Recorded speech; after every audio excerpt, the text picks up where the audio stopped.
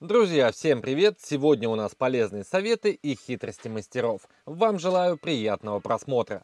Работая с доской, которая чуть длиннее верстака, она так и просится упасть на пол.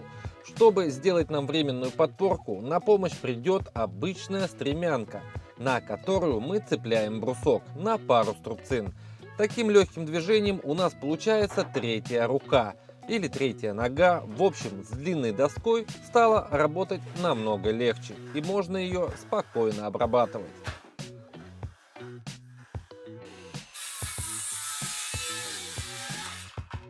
Если у вас в мастерской завалялось пару сломанных ножей, то не спешите их выбрасывать. Есть супер простое решение, как его вернуть снова в строй нам понадобится болтик М6.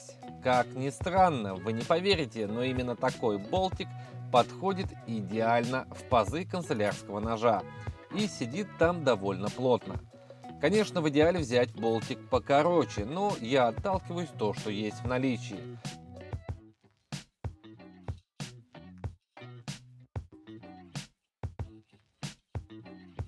Вставляем болтик в отверстие, загоняем лезвие, сверху кидаем шайбочку и барашек. И можно уже работать ножом. Но я далее обрезал лишнюю выступающую часть болта. Так стало намного комфортней. И зажимает, кстати, довольно хорошо. Можно снова работать канцелярским ножом.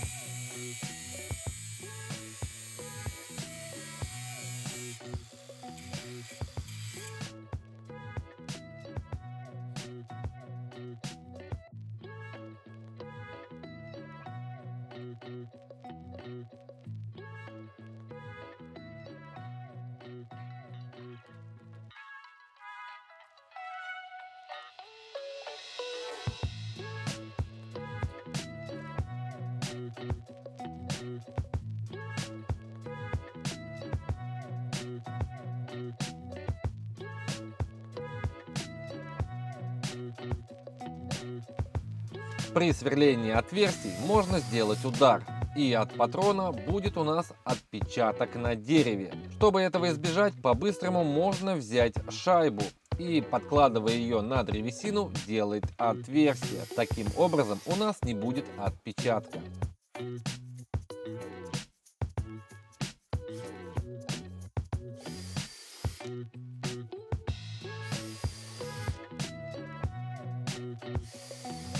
Если нам нужно сделать много отверстий определенной глубины, то по-быстрому ограничитель можно сделать из обычной винной пробки. Рассверливаем отверстие прямо на всю длину.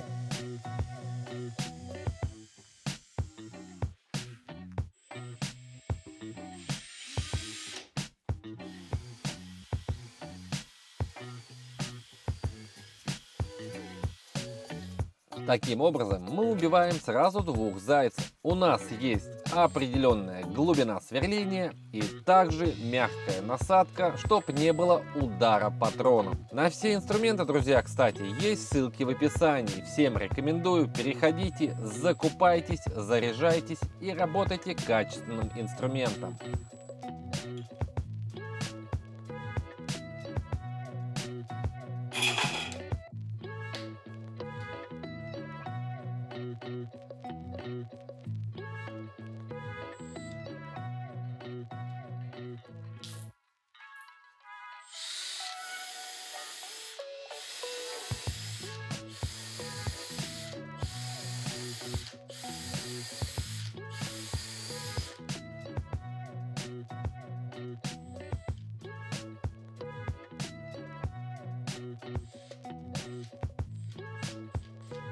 Делая отверстие в древесине с помощью коронки, можно потратить много времени и сил, доставая кругляш.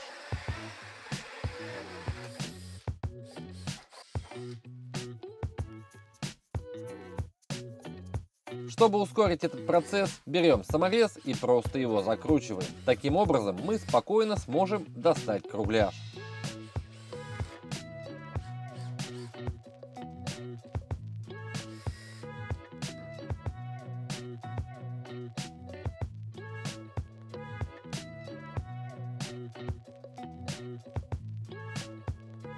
Если нам надо сделать множество маленьких тоненьких отверстий, например 2-3 мм,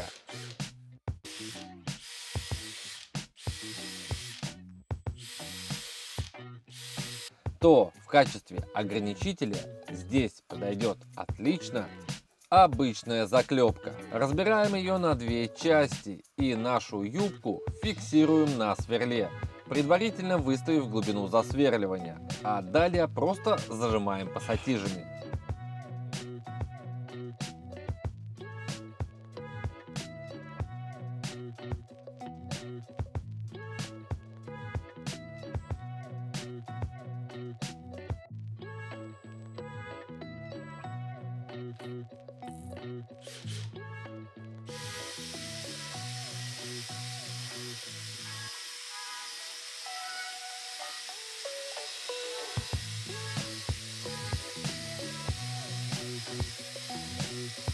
А чтобы ее снять, всего лишь надо снова зажать пассатижами и прокрутить пару раз. Имея в мастерскую обычную рулетку, то постарайтесь найти обычный канцелярский зажим.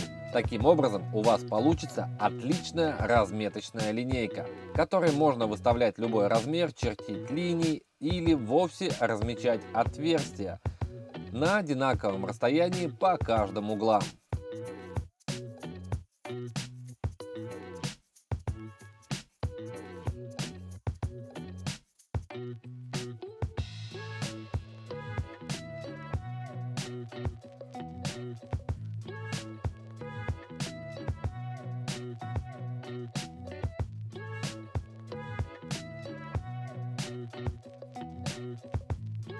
Если вам приходится таскать фанеру или ОСБ, не стоит таскать ее чисто на себе.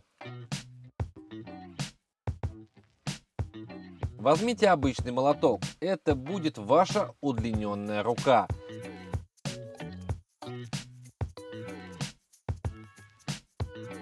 Противоположной стороной молотка цепляем за низ фанеры и все, просто берем и несем на то место, куда вам нужно.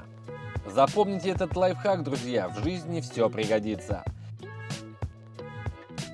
Если вам нужно убрать опил или мусор с помощью пылесоса в узких местах, а шланг пылесоса просто не достает,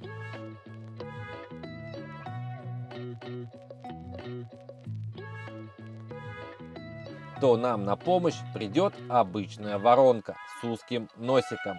Для нее даже не надо делать переходник. Просто прикладываем сверху и убираем весь мусор в труднодоступном месте.